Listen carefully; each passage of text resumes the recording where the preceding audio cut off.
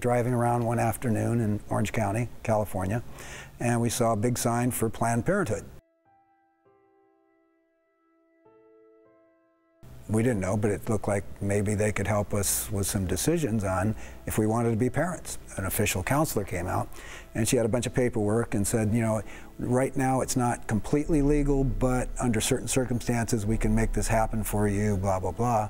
And then all of a sudden she drops the abortion word. Well, says, okay, listen, what are you doing with your life right now? Well, I just graduated high school. I'm in the Carpenters Union. I got a draft number of 18, so I'm pretty sure I'm going into the military. You'd be the most worthless father in the world.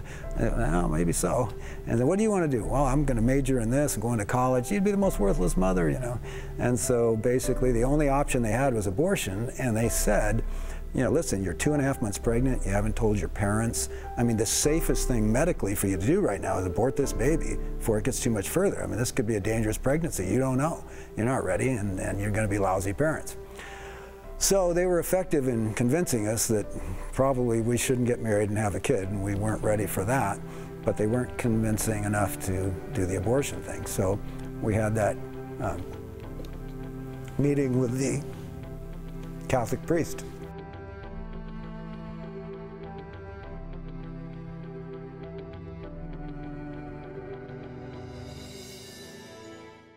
She's in this nurse practitioner program, and the kind of nurse practitioner she wanted to be is a midwife to deliver babies.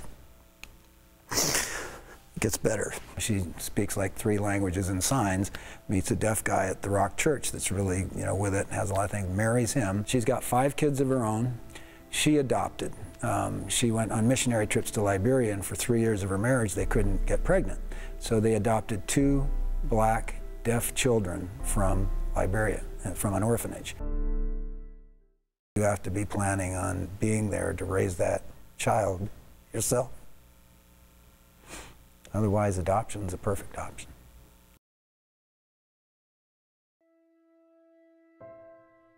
That's, you know, it would be a different story, but if you're healthy enough to deliver a baby, you could have a story just like mine.